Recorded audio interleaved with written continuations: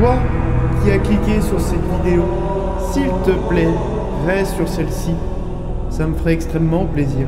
Sinon, je vais te le faire regretter. Bonjour à toutes et à tous, c'est Morbac et on se retrouve pour une nouvelle vidéo.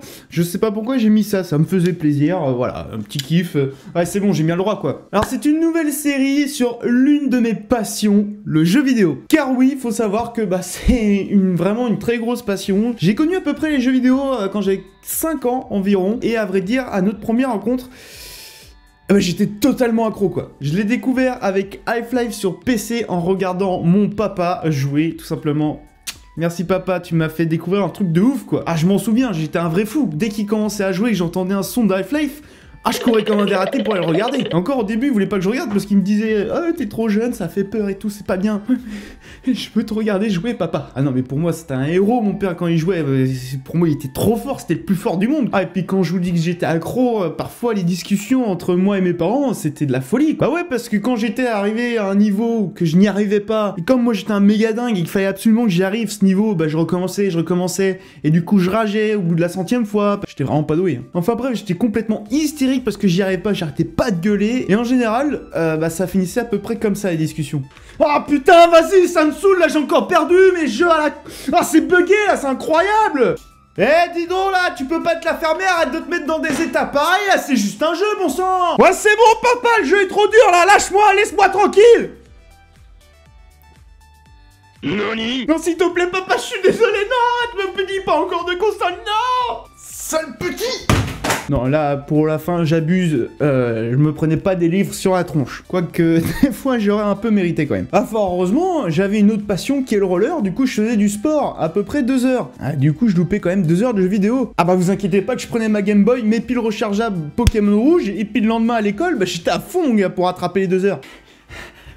Oh, toi, t'as Pokémon bleu Oh, tu veux faire un échange Eh ouais. Ça me rendait complètement dingue, les jeux vidéo. Bon, c'est toujours le cas en fait. Enfin bref, tout ça pour vous dire que ça fait à peu près 20 ans que je suis sur ces jeux vidéo. J'ai vu énormément d'évolutions là-dessus et je vais vous en parler d'une, les lootbox. Pourquoi les lootbox euh, Parce que ça, ça ramène du clic ça forcément, vu que ça fait polémique à chaque fois. Bingo mon gars, j'ai trouvé le truc de ouf Ah puis vous inquiétez pas que la miniature ça va être ça, avec deux coffres et des grosses flèches rouges. Flèches. Ah, je muse, je muse à ne pas savoir parler, mais c'est un truc de dingue ça. Alors, je parlerai pas de DLC parce que ça peut être traité à part. C'est lootbox, c'est vraiment un monde, mais c'est un, truc de ouf. Alors, avant tout ça, bien entendu, eh ben, il y avait pas de lootbox, avait pas de DLC. Les jeux, quand ils sortaient, ils étaient finis, il n'y avait pas de mise à jour, et évidemment, c'était beaucoup moins buggé. À croire que les avancées technologiques n'aident pas à finir les jeux correctement sans bug, hein. euh, je pense que le plus connu, ça reste Assassin's Creed Unity, parce qu'il y a tellement de vidéos de compilations de bugs qui sont sorties sur le jeu que euh, ça a fait péter un câble beaucoup de monde. Pareil, euh, à croire que c'est impossible d'avoir un jeu euh, qui sort sans avoir une mise à jour le jour même.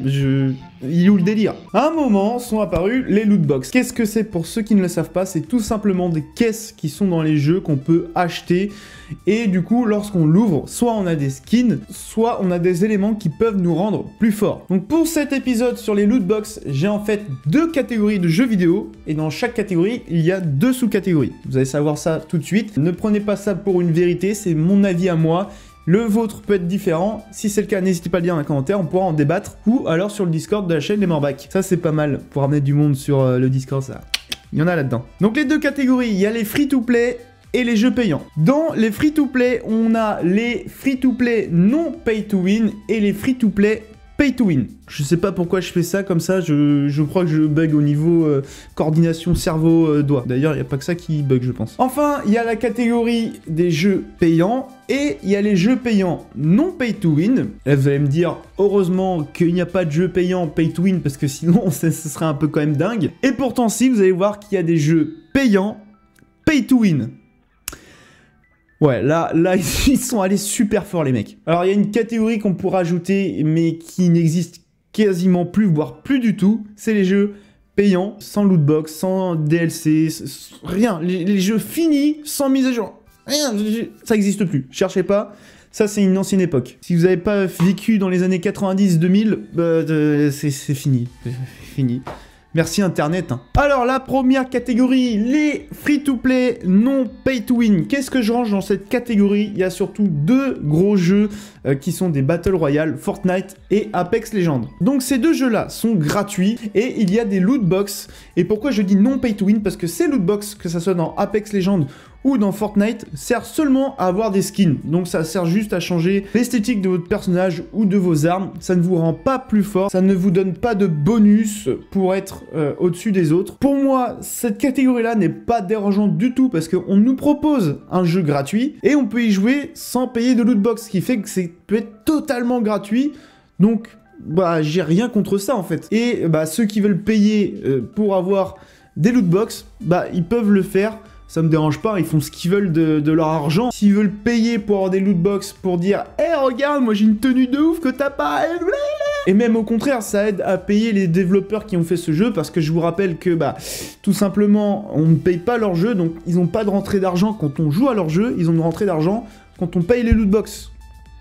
Arrête le micro. Donc ça aide à soutenir les développeurs si vous aimez ce jeu. Si vous ne l'aimez pas, bah vous ne payez pas de lootbox et je pense que vous ne jouerez pas ce jeu. Pour moi c'est limite normal, j'ai envie de dire. Euh, je vois pas de gros soucis là-dessus. Merci même de nous proposer des jeux gratuits qu'on peut jouer comme on veut sans qu'on ait à débourser un seul centime. Ça franchement c'est super cool. On part maintenant sur la deuxième sous-catégorie, les jeux free-to-play pay to win. Alors là, il y en a énormément, surtout sur mobile. Les premiers qui me viennent en tête, ce sont tout ce qui est Clash of Clans, Clash Royale, Boom Beach, etc., etc., où vous pouvez payer des box. Et là, ça ne vous donne pas des skins, mais ça vous donne, en fait, par exemple, dans le cas de Clash Royale, des cartes qui peuvent euh, améliorer vos troupes, quel que soit votre niveau. Ce qui fait que euh, moi, ça m'est déjà arrivé, je commence Clash Royale, je me dis, oh, c'est cool et tout, je commence niveau 1, 2. Et à partir de niveau 3, on est censé être encore à moitié moisi. On trouve des mecs qui ont des troupes super balèzes, au max de leur capacité, et même des troupes qu'on ne peut pas avoir autrement. Et là, tu te dis, mais comment ça se fait? Eh bah, c'est quelqu'un qui a claqué 100 boules dans des loot box pour améliorer ses cartes. Super. Non, parce que ouais, j'adore commencer un jeu et me faire péter le cul par des mecs qui ont payé pour avoir des meilleures cartes, et moi galérer à rester niveau 3 ou 4 parce que ces gens-là pullulent et que je ne peux pas avancer. Déjà que je suis nul, alors si en plus il y a des mecs qui sont en face et qui payent les trucs pour gratter et pouvoir être beaucoup plus fort dès le début, bah ouais mais qu'est-ce que vous voulez que je fasse moi? Bah à un moment, faut bien que je m'amuse quoi. Donc voilà, ouais bon, euh, après, est-ce que c'est un gros problème ou pas? Je sais pas trop comment le prendre parce que pareil c'est un free to play donc il y a un moment faut bien que les mecs ils se fassent de la thune. Sinon bah, ils mettent la clé sous la porte, quoi. Donc il y a moyen de jouer au jeu gratuitement sans dépenser, mais bien entendu, si vous voulez progresser beaucoup plus vite ou plus facilement, va falloir débourser un peu de sous. Et là, du coup, si on veut être à haut niveau, c'est limite, limite indispensable de dépenser de l'argent dedans pour pouvoir bien progresser. Ça revient finalement à payer, par exemple, un jeu 40, 50, 60 euros pour pouvoir progresser normalement. Donc là, j'ai envie de dire, bah, c'est vous qui choisissez le prix euh, du jeu. Soit vous estimez que je, bah, je je pourrais débourser 20 euros pour ce jeu-là, pas plus. Je pourrais débourser 40 pour certains et d'autres, bah, des milliers apparemment. je sais pas comment ils font. Ah non, parce qu'il y en a, ils ont de la thune à claquer, je peux vous le dire. Et c'est pas, c'est pas des centaines, c'est beaucoup, beaucoup plus. Enfin bon, ça reste des jeux gratuits, donc vous pouvez toujours y jouer sans payer, et ça c'est toujours un plus quand même, hein. faut pas non plus cracher dessus, parce que je vous rappelle qu'il y a une catégorie de jeux payants, pay to win.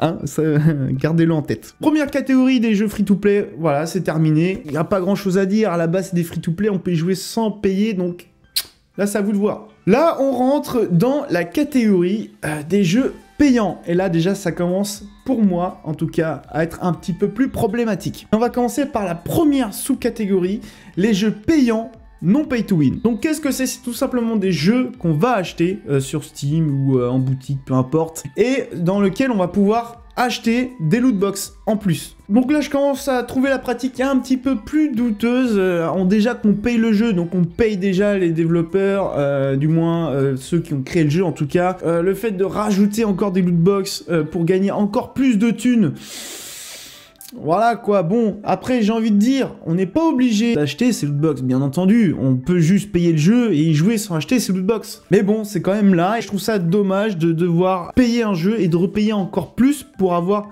des skins comme Counter-Strike, bien entendu, qui me vient en tête. D'ailleurs, je me demande si c'est pas Counter-Strike Global Offensive qui a lancé la tendance lootbox. J'ai un gros doute, mais il me semble que si en plus. Il y a PUBG aussi qui est payant, et malgré qu'on paye le jeu, on doit payer des clés pour ouvrir des boîtes et euh, avoir des skins. Donc ouais, euh, voilà quoi, c'est...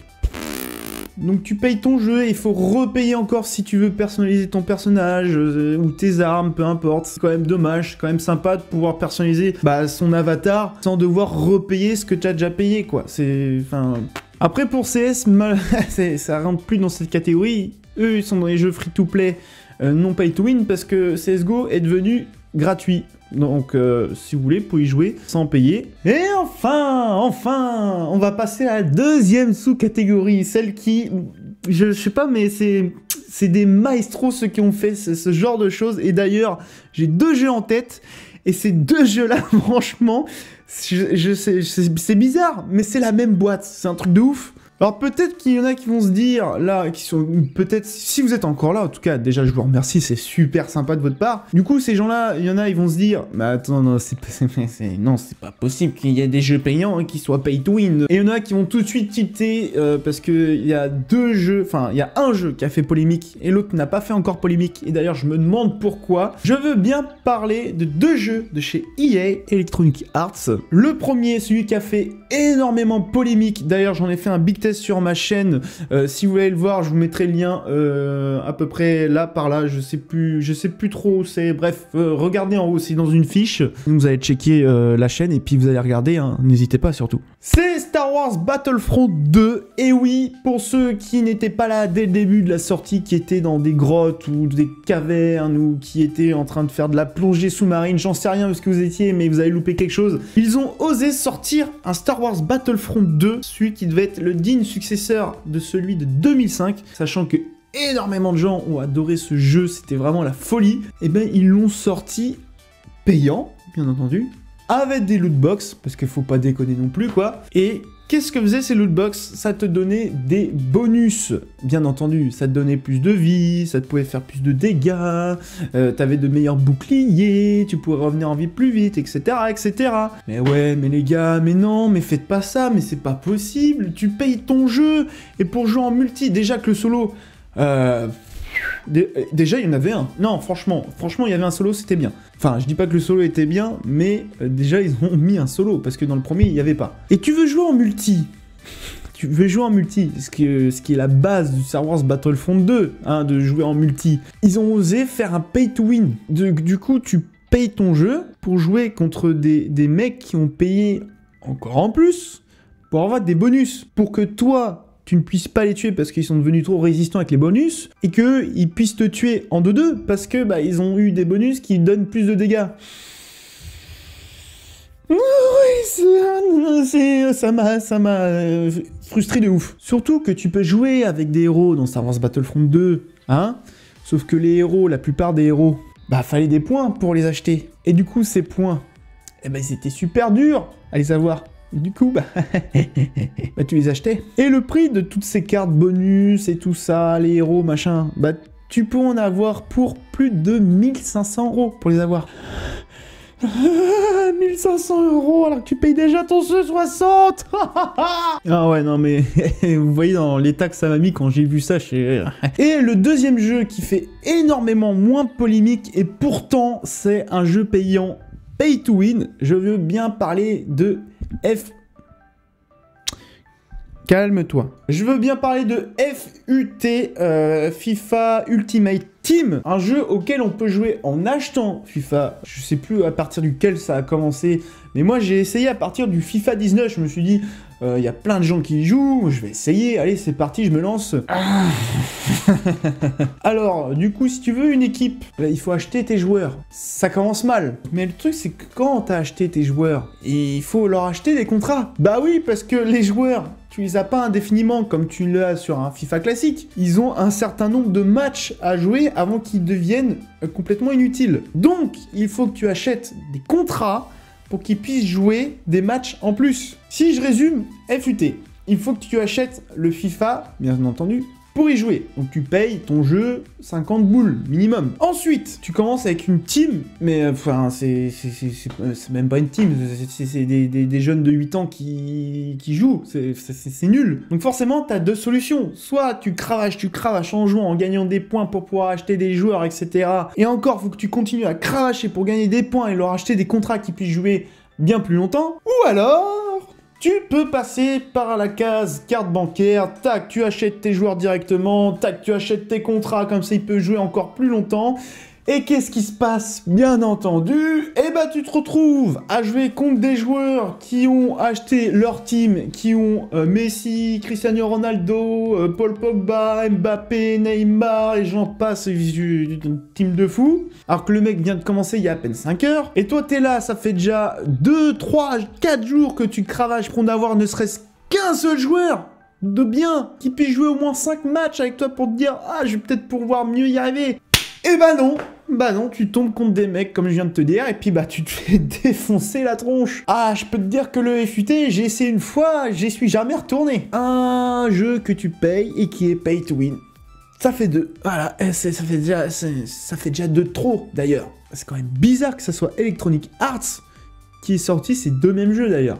je pense qu'il y a un truc. Donc voilà comment on passe de jeux euh, que tu achetais en boutique, tu venais chez toi, t'étais content, tu mettais ton jeu, tu jouais, t'avais pas de mise à jour, pas de DLC, pas de lootbox, tu jouais, tu te prenais, tu prenais plaisir à jouer, et t'avais pas de bugs, mais c'était super quoi. À euh, des jeux que euh, bah, ils sont pas finis. Alors on sait pas pourquoi ils les sortent alors que c'est pas fini, c'est encore buggé. Ils sortent une mise à jour de 5 gigas parce que bah, c'est bien connu que vaut mieux faire poireauter les joueurs le jour J quand tu sors le jeu à télécharger 5 gigas. Ceux qui ont des connexions de campagnard, je vous souhaite bon courage. Je suis passé par là. Force à vous. Et que tu te retrouves parfois avec des jeux qui ont euh, la moitié du contenu qu'il aurait dû avoir et que le reste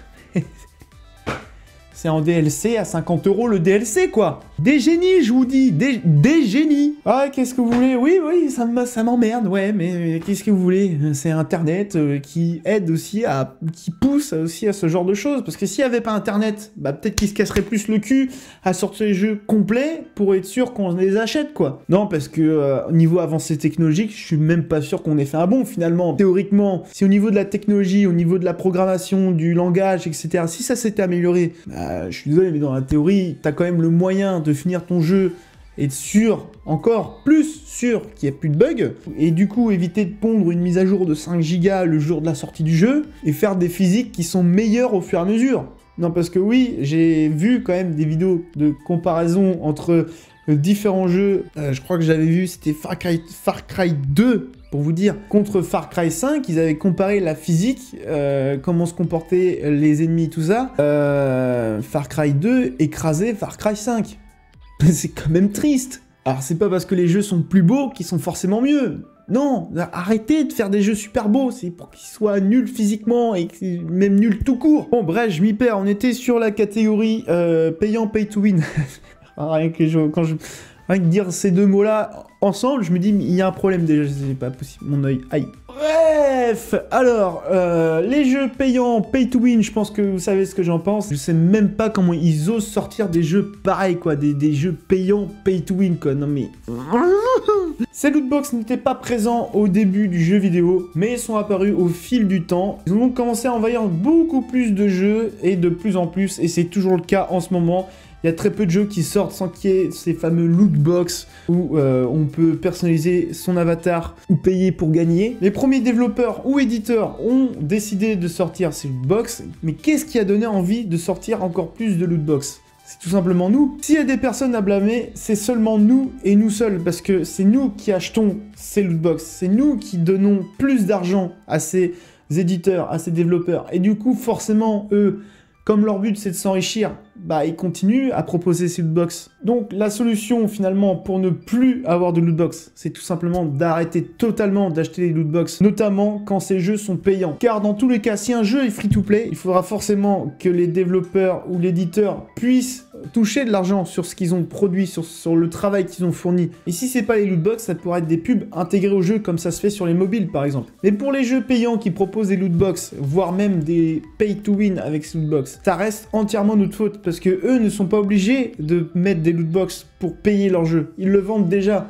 Donc c'est de l'argent en plus qu'ils se font. Et si ils continuent à mettre ça, c'est parce qu'ils gagnent de l'argent. Et c'est nous, du coup, qui les poussons à mettre de plus en plus de lootbox. Parce que comme ça leur apporte de l'argent, bah l'argent appelle l'argent. Donc forcément, bah, ils en remettent pour gagner encore plus d'argent. Une chose à ne pas oublier, c'est qu'une entreprise cherche forcément à s'enrichir. Et si quelque chose marche, et bah, c'est forcé qu'ils vont réitérer cette façon de faire comme on dit, hein, on ne change pas une équipe qui gagne. Voilà, ce sera tout pour cette vidéo qui change pas mal des autres vidéos déjà faites sur la chaîne. N'hésitez pas à dire en commentaire ce que vous pensez de cette vidéo qui est la première de cette série. Voilà, euh, si vous avez des suggestions à faire, euh, bah surtout n'hésitez pas, je suis ouvert à toute critique constructive, qu'elle soit positive ou négative. Si vous avez aimé la vidéo, n'hésitez pas à la liker, à vous abonner à la chaîne et à la partager bien entendu. Vous êtes toujours de plus en plus nombreux et on se rapproche toujours de plus en plus Arrête On se rapproche toujours de plus en plus des 1000 abonnés, donc franchement ça fait super plaisir. Je vous en remercie énormément. N'hésitez pas à vous abonner aussi aux réseaux sociaux. Il y a Instagram, Facebook, Twitter,